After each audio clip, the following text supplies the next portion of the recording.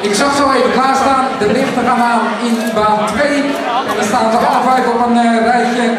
Ik heb het over Irene, Tinka, Kylie, Esme, Lisa en nog een Kylie. Nou, 1, 2, 3, 4, 5, 6. Volgens mij is er eentje te veel ik er eentje zie. Het zijn in ieder geval de Base Girls uit Breda van de Indoor Ski Snowboard Breda. Geef ze een groot applaus. De Base Girls uit Breda.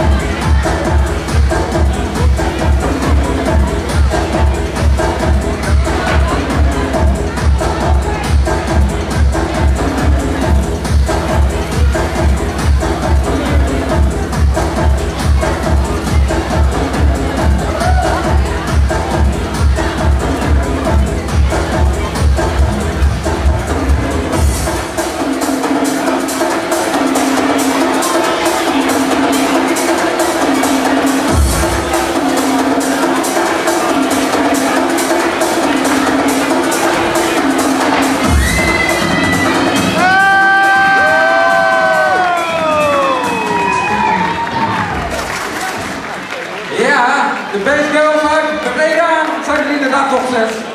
Ik kan niet tellen of er zo'n beetje zes erbij gekomen. Irene, Tina, Kelly, Esme, Lisa en nog een keer Kelly van de indoor ski en snowboard uit Breda. Met ook voor detail, want uh, allemaal de kraaltjes om en de stip op het voorhoofd. Applaus dames. Nogmaals een applaus!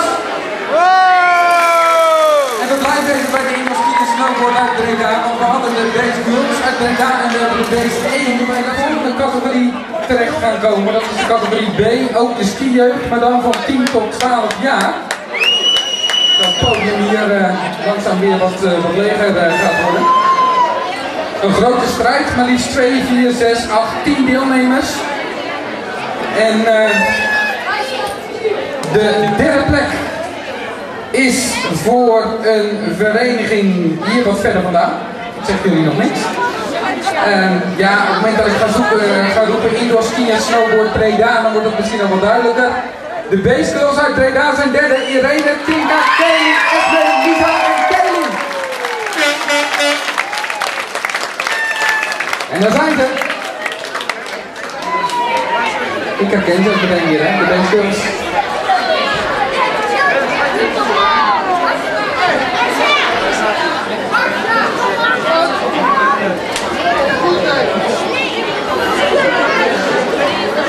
De derde prijs is voor de Girls uit Breda. Geef ze Danny! Mag ik jou wat vragen? Wie ben jij? Jij bent Irene, hè? Jij bent van de Indoor Ski en Snowboard Breda. Van de Girls uit Breda. Wie deed er nog meer mee?